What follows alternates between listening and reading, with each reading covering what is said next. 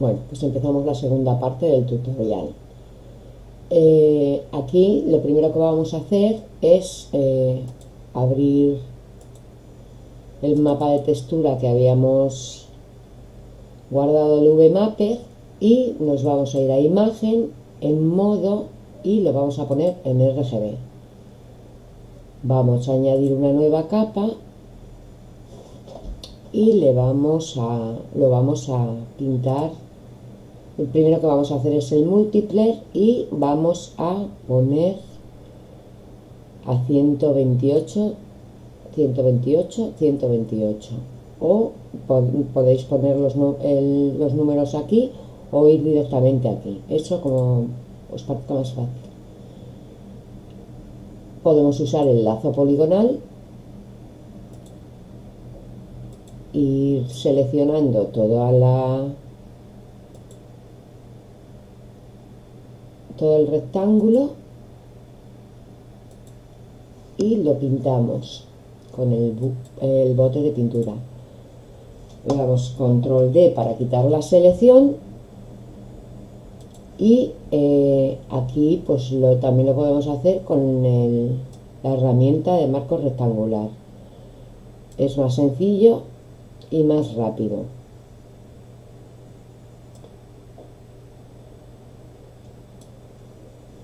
Lo pintamos otra vez con el bote de pintura, le damos control D para quitar la selección. Una vez que ya lo tenemos pintado, nos vamos aquí y le vamos a añadir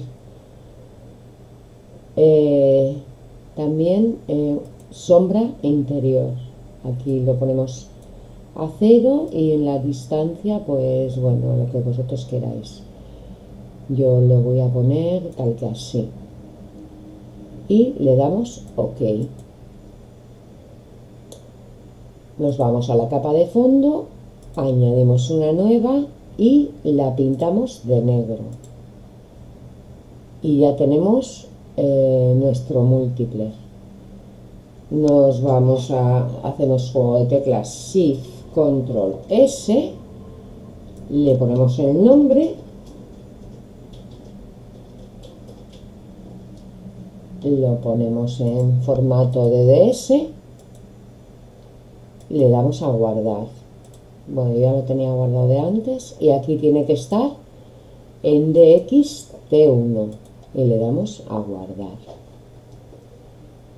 Ahora vamos a hacer eh, la máscara. Para hacer la máscara tenemos que pintar esta misma capa de negro, o sea, de rojo, perdón. La podemos pintar desde aquí añadiéndolo un color rojo o bien con, esa, con esta capa seleccionada nos vamos a canales, nos ponemos en el color rojo, le damos Shift Control I y se pinta de blanco. Y tienen que quedar todos los colores diferenciados entre sí. Y ya tenemos nuestra, eh, nuestra máscara.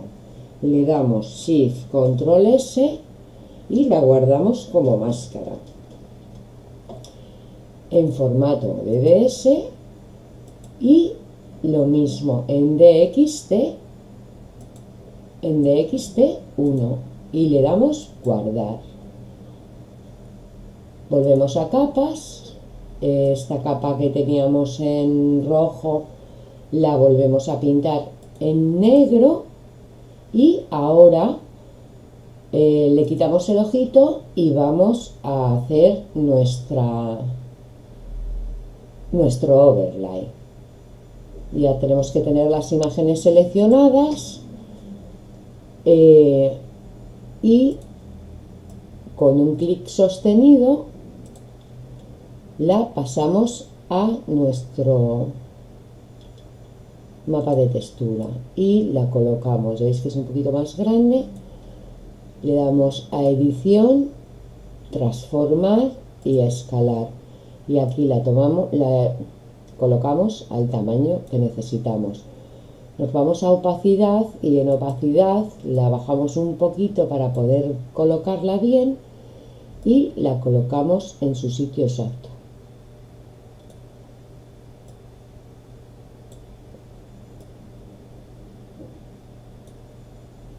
Una vez que la tenemos colocada, le damos Enter y volvemos la opacidad a su sitio. Ahora le vamos a añadir una, una chapita para que, bueno, no sirve para nada, pero bueno, queda bastante más bonito y aunque no se va a ver, pues hace un bonito efecto en, en el trabajo.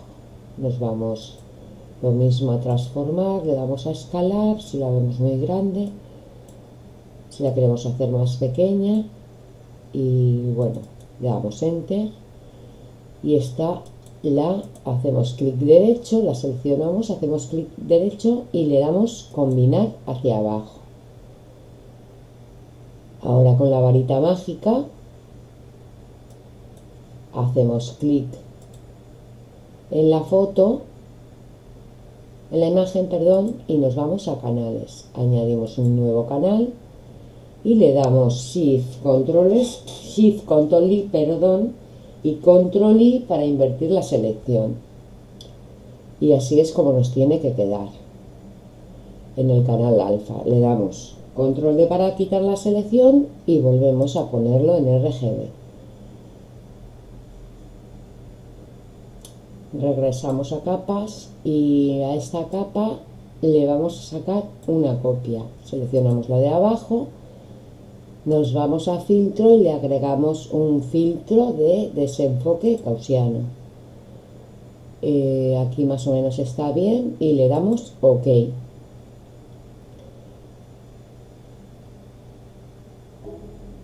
Esto es para, para que quede más bonita la, la imagen. Si os fijáis, eh, si quitamos este ojito, eh, se nota diferente. Si lo añadimos, esto es para que, bueno, pues quede más bonita la imagen.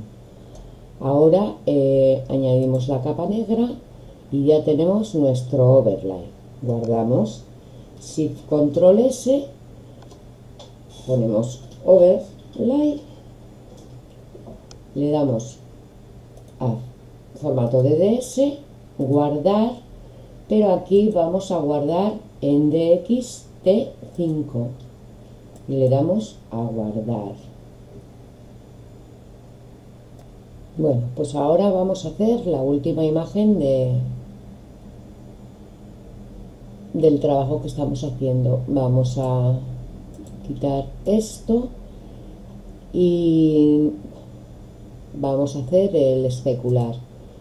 El especular no lleva más que un, una imagen lisa, entonces vamos a añadir una imagen, eh, un canal alfa que tiene que quedar en negro y eh, la capa también tiene que ser negra.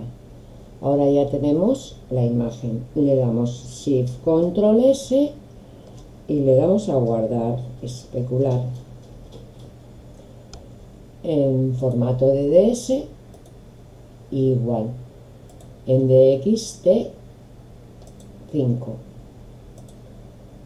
y le damos a guardar y ahora ya hemos terminado las imágenes y nos vamos a ir al TSR Workshop a hacer el cuadro, a montar el cuadro con las imágenes que hemos hecho